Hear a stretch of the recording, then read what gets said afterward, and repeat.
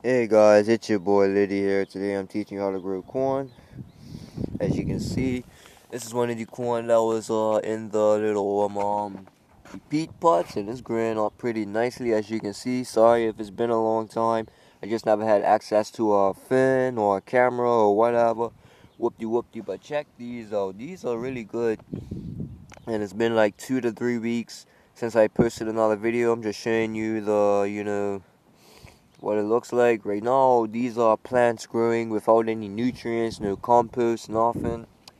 And these plants are doing pretty good. And also I have even more corn growing in rows. So we're gonna have a really good time you know growing corn and all that there. So everybody likes the corn peas and carrots. And you have a little piece of meat some fish chicken or you have some hamburger beef oxtail whatever or curry. Goat I don't care and like, you know, if you're hungry, you're hungry. But for me, growing vegetables is such a natural and peaceful hobby. It's like I just enjoy growing things. Like I just like like even that lemon tree right there. Like I just like growing things. It just takes a lot off my mind, you know. Like even though when you grow vegetables, it's just like raising a child, you know, just like raising a puppy, a kitten, anything as a baby, from seed to you know, fully grown. So yeah. So this is corn, guys. Um yeah, it's been a while. I mean, as you can see, the biodegradable pots do work. As you can see, they've gotten bigger and they have, you know, growing taller. This is the biggest corn stalks I have. So yeah, probably in two more months, I should probably have something, you know, decent, like a nice decent corn stalk to be like, you know, growing out of the ground. Have some good sweet corn, and I can show you how to pick the seeds out of the corn and plant it again. Pretty simple. I mean, you know, so you can always have corn. You can always, you know enjoy the reproductive cycle of it and all that there.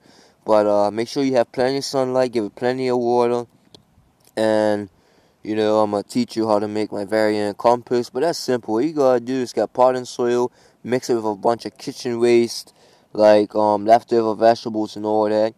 You can even get dead leaves off trees, sticks and all that. And, and make sure you have vegetables and all that to rot in your soil. And all you gotta do is water it every day for a whole year to make compost. Some vegetables don't take long to biodegrade, but yeah, that's a good way to, you know, fertilize and all that. But if you want some quick fertilizer, you can use chicken manure. That's a good one, or some earthworm castings, which is good, and it will help you grow good corn. And uh, yeah, if you're wondering what this is, this is cochineal, a good plant to make drink out of. And this one Oh, this corn fell right down. This this corn fell right down. I'm just straight. Let me just straighten you up. You fell right over. And it's like wow. Me just straighten you up. It there. Okay, now I'm standing up straight. Good. So these corn are literally a week and a half old, you guys. Week and a half old, and this thing right here going on, going on for at least a month. I know. It's just that, you know, I haven't really been taking care of them. I haven't really put nutrients on them so they can grow better. But, yeah. That's really just a corn stalk growing good. And also, I'm going to do other tutorials too, like all the other plants in my yard. Those things are doing good and all that, but we're going to get to it. So, we're just talking about corn, and, you know, to be honest, the way I eat corn, I do not like putting it in a pot, make the corn hot, yada yada. As soon as that corn's you know, growing straight out the corn stalk. I take it, I peel it, and eat it just like that. Cause like, I swear you get more flavor from eating corn like that, rather than you know heating it up. I swear you, I swear, right? You're losing juices and flavor when you do that.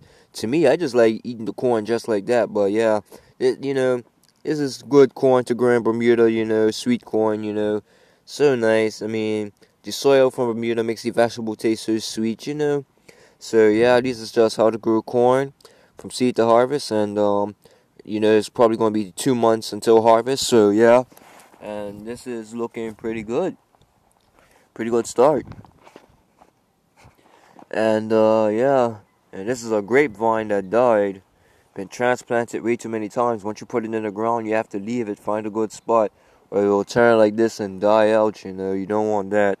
But uh, yeah some good, you know, corn, corn seeds and all that there, yeah.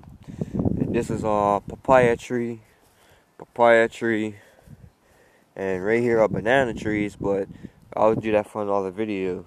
Have more corn, and if you're wondering what all this is in a row, these are actually carrots, and uh, yeah. Pretty much stuff like that there. I mean, my garden's gonna be, you know, better for the summer, and by the time summertime comes, I'll show you how to grow a lot of watermelon and all that there. Once I get watermelon ground with some squash and all that, I'll show you how to grow all that. Uh, this video is mostly focused on corn. So yeah, this is how to grow corn 2023, all that there. Yeah, pretty much. So don't forget to uh, like and subscribe, and I'll see you in the next one.